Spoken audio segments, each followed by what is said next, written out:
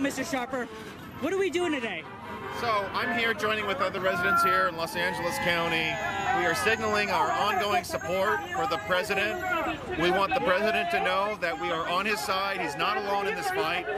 We encourage him as much as possible to fight for every legal vote to count in all contested states and to ensure that every illegal and bad vote gets thrown out. The president is correct. He has won this election. He had a strong margin of victory. He won Florida, he won Ohio. Those are the two key swing states. He was ahead as of after the end of election night.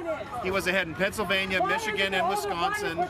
And it was wrong for the corrupt corporate media to call the election for Joe Biden.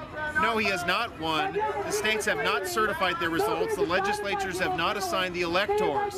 That's not, the media doesn't call the elections. That's done in that process. What are your thoughts of the whole uh, Georgia news and the recount? Uh, Georgia, absolutely.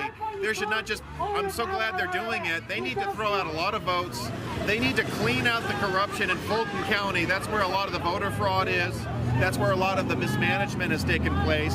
And honestly, the same process needs to be undergone in Pennsylvania, Michigan, Wisconsin, even Minnesota.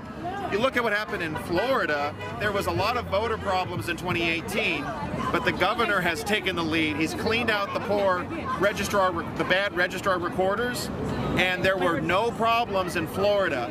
Their voter system, their voter safeguards